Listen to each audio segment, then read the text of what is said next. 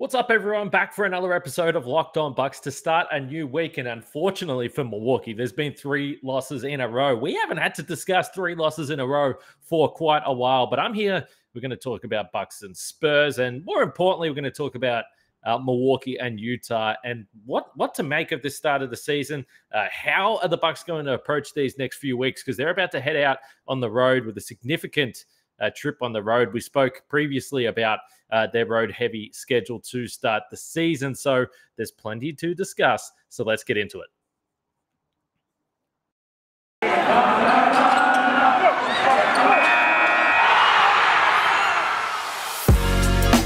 You are Locked On Bucks, your daily Milwaukee Bucks podcast, part of the Locked On Podcast Network. Your team every day. Welcome to Locked On Bucks. I'm your host, Kane Pitman. You can see and hear me on this show daily, wherever you get your podcasts, or now on YouTube. Uh, you can also find my words over at ESPN and NBA Australia. As always, we thank you for making Locked On Bucks your first listen Monday to Friday and the odd the odd weekend podcast but there was no weekend podcast this week because this spurs game that we're going to get into was uh, not fun at all and then today uh, as i record this just in the last hour or so we've seen the bucks go down to the Jazz. So, riding solo today, Frank's actually in Houston with some family right now, and he is watching the baseball. I mean, if you listen, the Bucks are three and four on the season now. At times, you're like, okay, they've been a little bit lackadaisical to start the season. Obviously, there's been some injuries, but they're not the only ones sometimes that haven't had the energy. Frank couldn't even bring himself two games to discuss, couldn't even bring himself uh, to jump on the podcast because he's watching baseball of all things. Absolutely ridiculous. Anyway, that's fine. We've got plenty of stuff to get through today, as I mentioned at the top. So the Bucks lost to the Spurs 102 93. Uh, uh, speaking of Frank, he tweeted during this game that this game felt like it was on muscle relaxers, and I would agree. It was a a very difficult game to watch.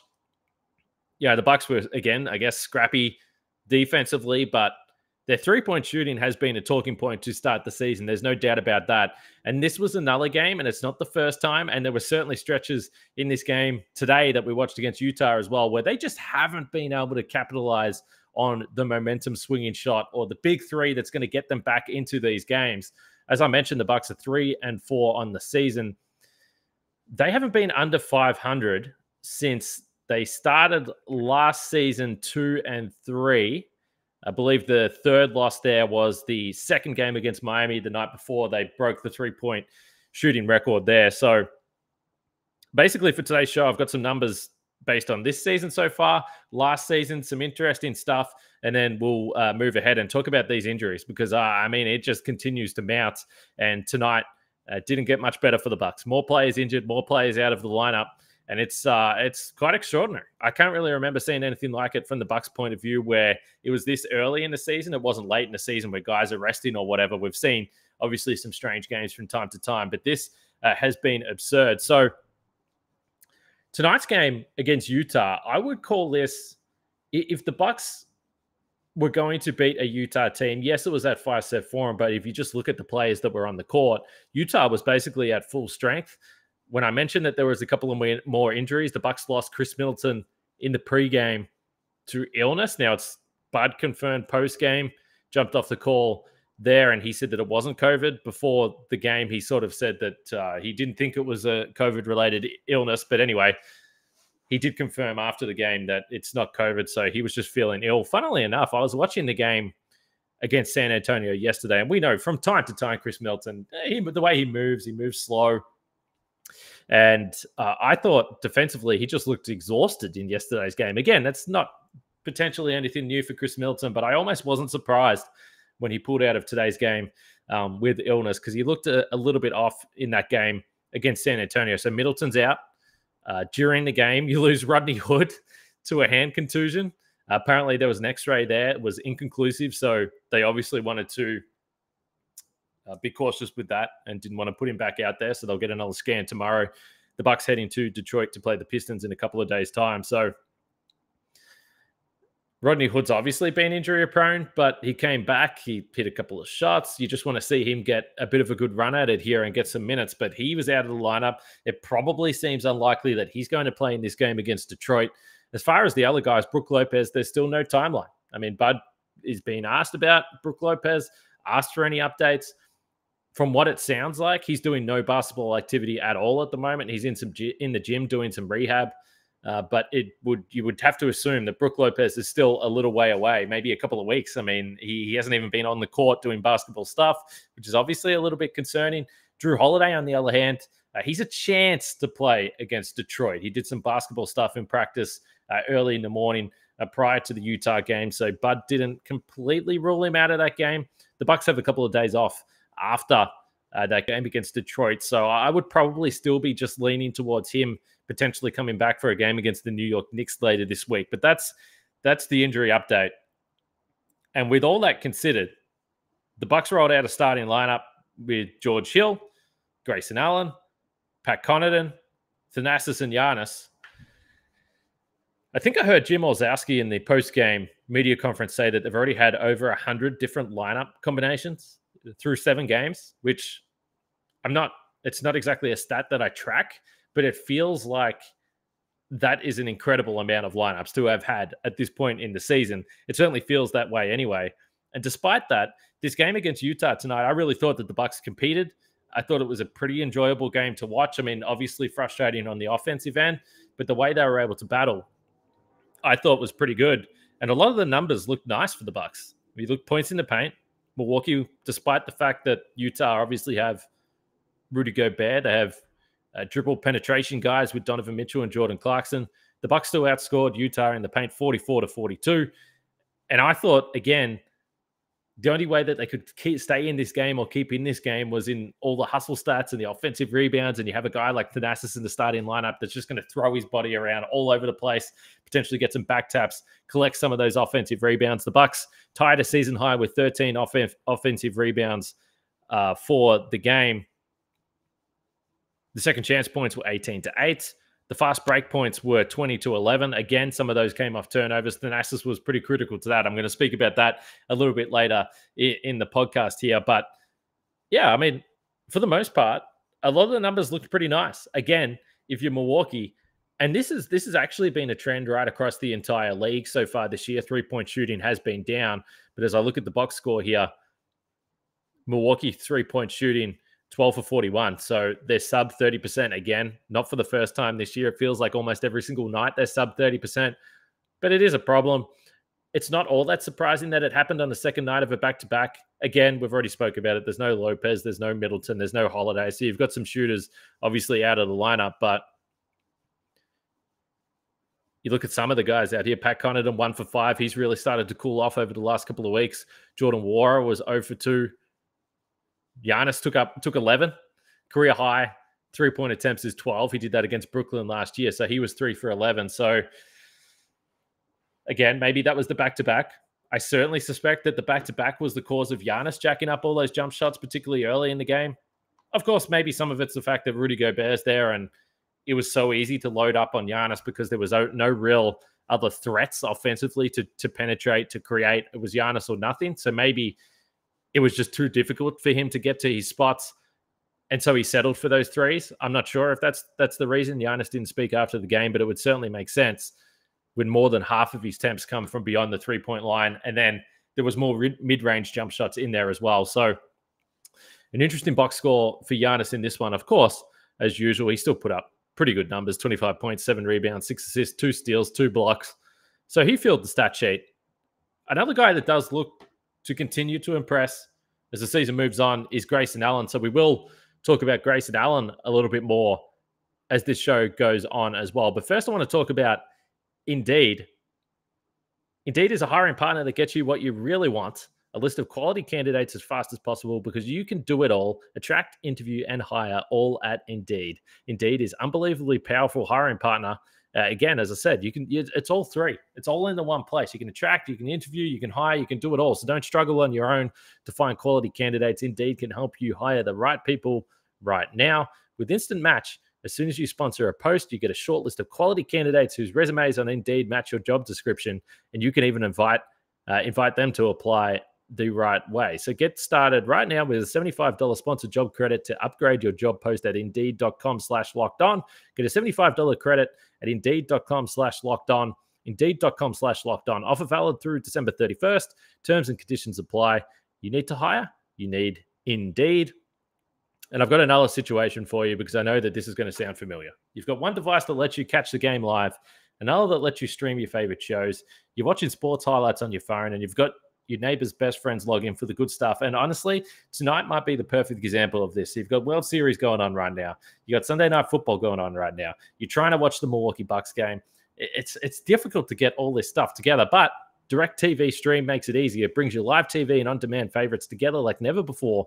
So you can watch your favorite shows, movies, uh, and uh, shows. What I say? Your favorite sports movies and shows all in the one place. That means no more juggling remotes and no need to buy another device ever again. And the best part, there's no annual contract. So get rid of the clutter and the confusion and get your TV together with Direct TV Stream. You can learn more at directv.com. That's directv.com. Compatible device required. Content varies by package. All right, let's talk defense a little bit here as we keep the show going. So tonight was interesting against Utah. And, and I think overall, if you just compare the numbers from last season to this year, it's interesting to see where the NBA is trending. So we've spoke about the Bucks struggles, certainly shooting the ball from three-point land. Uh, overall, I I believe I saw a stat today that said that the three point percentage across the league is down to a low that was last or the lowest point in the last decade, which we've spoken about. What, what's the impact of this? Is it the crowds coming back to the arena and all of a sudden you're not in this perfect gym setting, dead quiet? Sight lines perhaps are a little more muddy than they were when there was empty arenas and tarps behind the basket. Is it the new ball? Wilson. Wilson comes on board and the shooting goes down. I remember a few years ago when they brought in that synthetic ball that didn't last too long at all because the players hate it. I actually haven't heard too many complaints about the ball, but maybe you know maybe it's having an impact. That's one other thing that has uh, actually changed when it's coming into the game. But if you look at the the defensive numbers, particularly or specifically with the Bucks, so in the 2020-21 season, remember the Bucks were 46 and 26 on their way to a title. They were the ninth ranked defense with a defensive rating of 110.7. Right now, their defensive rating through seven games is actually 109.1. So the defense, despite the fact Brook Lopez has hardly played, despite the fact that Jrue Holiday has hardly played, despite the fact that they're using all these different lineups and different uh, players on the court and, and guys that have never played together and they're trying different things, which we'll get into in a little bit here, the defense is one point better per 100 possessions this year to last year, which is extraordinary to think about. The reason that they're three and four and they're not yeah, five and two, six and one, maybe when you consider that this Utah game was probably winnable in the situation. You didn't expect that they were going to win, but when you get to the fourth quarter, you're down by a couple of points. You're in it. It was the same against the Spurs in the game yesterday as well. But the offense is the problem. And and and this shouldn't be a surprise. I mean, we're all watching this team. We're seeing the lack of creators. Obviously, the three point shooting isn't helping but they just don't have enough guys out there that are talented to score. I thought that they got a nice boost from Bobby Portis that came back into the lineup tonight. But the offense, last year, fifth ranked, 116.5 offensive rating. So far this season, it's at uh, 106. So they've dropped 10 points per 100 possessions. Again, offenses are down across the league because the, the, the crazy thing about these stats is despite the Bucks defense being better than it was last year, They've got they've dropped from ninth to the 21st ranked defense. Offensively, they were fifth, but they, have got a middle of the pack offense right now. It's, it's 106, which is well down on where it was last year, but they're 14th league wide at the moment, despite the fact we're watching the games. We're seeing that the offense is a is a major problem for this team as they wait for some of these bodies to get back. They tried some interesting stuff tonight. When you have Rudy Gobert out there and you don't really have a matchup for Rudy. Of course, Giannis has defended him in the past. He had another huge block on him, but a lot of the times he's going to get caught rolling to the basket, and you're going to have to rely on on on weak side help to to try and cut off those rolls. We saw that a lot. Pat Connaughton was one guy that was doing that a lot. We've seen George Hill be a guy that's been on that on that back line, which is extraordinary to think about. But that that's the way that the Bucks have been uh, been forced to to run this defense a little bit. But probably the most interesting thing tonight was the way Thanasis was blitzing the pick and roll coverage. And I I tweeted about it late in the game because it was obviously prominent late in the game. There was possession after possession after possession as the Bucks were trying to get back into this game. Thanasis would just uh, blitz the the ball handler as he came around the screen, try and get a steal, and he did a couple of times. He got a couple of steals that resulted in easy transition buckets where he could just go down the floor and get a dunk. But it's not something that we've seen a lot of. And so I, I didn't know whether Thanasis was just like freestyling out there and doing his own thing. Bud was asked about it by Eric Nehm in the post game, and Bud kind of uh, acknowledged the fact that they got to try some different things because it's it's unique personnel that they got out on the floor, and uh, he the expression that Bud used when describing Thanasis, which I think was perfect, he said that yeah we we turned Thanasis loose, and and I thought I mean it's true because he was great, he was a madman out there, and you need to have a unique skill set to be able to do that. Ben Thanasis does have it because he's got the energy, uh, he's got the quickness. There's no doubt about that to kind of surprise the ball handler. And you don't see a lot of this around the league uh, these days. Certainly, it, it, doesn't happen because, and this happened a couple of times to the Bucks, because if you don't execute that steal, then you're in a terrible position. And it, for for Donovan Mitchell or Jordan Clarkson, whoever it was, it was an easy pass to the roll big, whether it was Rudy Gobert, he's rolling to the basket. And then even if you you have bodies that recover and jump on Rudy Gobert, then it's an easy kick out pass to the corner and you're going to get a wide open three. So that's the reason why teams don't do it a lot. If you remember, even back to the Jason Kidd days, it wasn't necessarily that aggressive and they, they would try different things in pick and roll coverage, but it was always one pass, open three, and that's why they got torched, particularly in the corners. And that's why the Bucks haven't given away a lot of corner threes since Bud came in because they're not really aggressive when it comes to the pick and roll defense. We saw it a little bit tonight. I thought it was fine for shock value. Again, if you're going to have some someone do that, Thanasis might be the perfect man to do it. So, yeah, it was just interesting to watch. And honestly, down the stretch, again, they they were able to get stops. You know, I thought it was pretty impactful, and I thought overall that Thanasis had a pretty good game. Probably at times he, he tries to do a little bit too much offensively. I mean, there was a couple times there where I was like, all right, dude, we need you to stop trying to score over Rudy Gobert. It didn't go well for him. But overall, I don't think you could fault his game altogether. He did pick up three steals, 10 points, nine rebounds, uh, had three assists as well there, and, you know, five for 15 from the field. Again, a little bit out of control when he's going to the basket and you know he got up a couple of threes as well but you know this was a game where the bucks were going to have to win with hustle that was the only way they were going to keep themselves in this game and i thought thanasis was was pretty good on this night so uh, we have to shout out uh, him for sure and he he does remind me i mean when i when i think about thanasis or when i think about how people would generally respond to eating a built bar. I think of you know Thanasis. He's one of the first players I think of because that energy that he has, uh, you can tell that he's obviously he's, he's got good nutrition. I would suspect he probably eats Built Bar, the best tasting protein bar that's ever been made. Uh, did you know that Built Bar has nine delicious flavors? There is something for everyone. When you talk to a Built Bar fan, they're definitely passionate about their favorites. If you don't know the Built Bar flavors, well, you are simply missing out. There's coconut, cherry barcia, raspberry, mint brownie, double chocolate, salted caramel, strawberry, cookies and cream. The list goes on and on. Uh, not only are Built Bars uh, tasty, but they're healthy too. Only 17 to 18 grams of protein, calories ranging from 130 to 180, only 4 to 5 grams of sugar, 4 to 5 grams of net carbs. Uh, Built Bar is also the official protein bar of the US track and field team. So just go to built.com, use the promo code LOCKED15, and you'll get 15% off your order. That's promo code LOCKED15 for 15% off at built.com.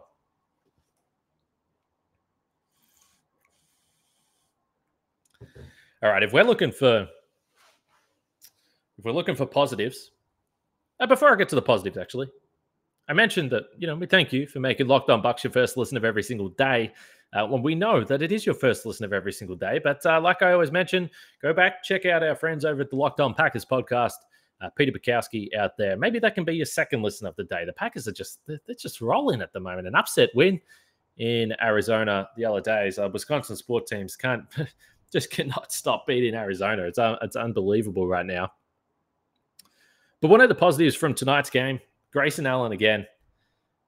Nice back to back for him. You know, I think that this is a positive. When we talk about the three point shooting, uh, Grayson Allen over the Spurs game and the Utah game, uh, 10 for 19 from three point land. He was hovering in the low 30s. It was around 32%, 33% comes into this game, 10 three pointers across the two games. Um, so for him, on this night against Utah, 18 points. He had six rebounds as well. Uh, five of his 10 three point makes he knocked down. So Grayson Allen's been pretty good in double digits every single night.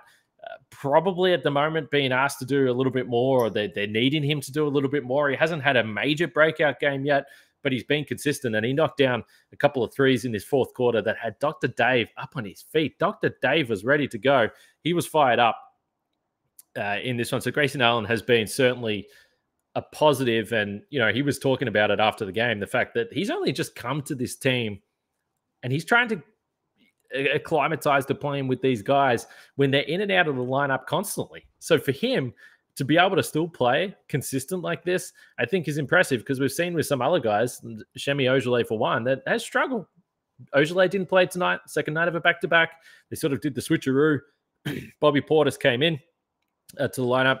Ojeleye was out, and uh, Bobby six for fifteen from the field. He had 15 points and five rebounds, and was able to knock down a three. So he'd missed his three since he came back. He was only one for five, but good to see one go down at least for Bobby Portis there. So I, I don't know what's next for the Bucks. We're going to break it down more. Obviously, on tomorrow's show, we will discuss everything that's that's happened with the Bucks and what to expect moving forward into a Detroit game. That you know, quite honestly, the Bucks probably have to get. I mean, right now, when I sit here and I look at the standings, the Bucks are in tenth in the East, which is kind of weird. Playing team, the Bucks are playing team, so they were three and four. But there are some teams below them that are also struggling that you would expect to be better. Boston are two and four. Uh, Atlanta are at 500. They're three and three. Brooklyn four and three as well. So obviously, it's way too early. For those that follow Eric Nehm, he always posts these videos of Giannis and Khris Middleton and, and the guys warming up before the game. And when I saw it this morning and he said uh, game seven of 82, I really had to sit there and think, my goodness, this is going to be a long ass season. Particularly when you come off the championship. It's like getting worked up about game seven of the regular season just feels feels like hard work, especially when you're watching the players that are out on the court. And by the way, before I, I sign off on this podcast, or before I even think about signing off, I think I, I think I know another reason why Frank might have not have come on the podcast tonight. Was Justin Robinson, 24 minutes, nine points, three rebounds. He had a steal. He was four for seven from the field. He was defending Donovan freaking Mitchell for half of this game, which is just not fair. I would have liked to have heard Frank praise Justin Robertson a little bit for some of the things that he did in this game. He hit that that three that was ridiculous to beat the the shot clock. I don't know how much he meant it. He hit it in front of Joe Ingles. Joe Ingles looked just this. he couldn't. He was beside himself that Robinson could even knock down this three. But Justin Robertson, I can't get off this podcast without giving him a little bit of praise. I thought he really battled hard. I mean, he's undersized. It's really tough for him defensively. But to have that assignment on Mitchell and then also hit some buckets and, and find a way to score a couple of times there. Shout out to him. Shout out to Justin Robertson. I, I don't, you know, again, hopefully, no offense to him, but hopefully he's not playing big minutes in a little bit of time here when uh, hopefully we get some bodies back. But uh, for now, at least, I thought he was pretty good tonight. And I should acknowledge, I've been doing this media stuff for about three years now. I've, since I, I quit my job and moved into sports media and – I, I always said to myself, you know, if, if you're going to do sports media, sometimes sometimes you'll be wrong or sometimes you'll miss a detail, and that's totally fine. As long as you can admit that you missed a detail or you were wrong, then you know people people will respect that. So I have to acknowledge, like one of my favorite TV shows, PTI, the errors or acknowledgments or whatever whatever it is that they call it. On the last podcast, I did say, you know, Yorgos uh, you know, why why wasn't he a two way? We discussed it at length when he was signed to his deal why he couldn't be a two way as part of the the buyout, his international contract buyout had to have a, a roster spot, not a not a two way spot. So Frank was very very quick and and probably very disappointed in me for not remembering that. Uh, but that's true. He couldn't actually be a two way guy.